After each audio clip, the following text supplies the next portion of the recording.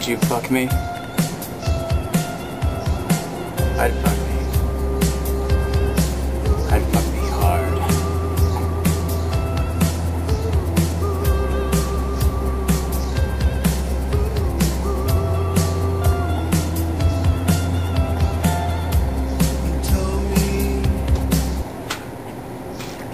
What are you doing?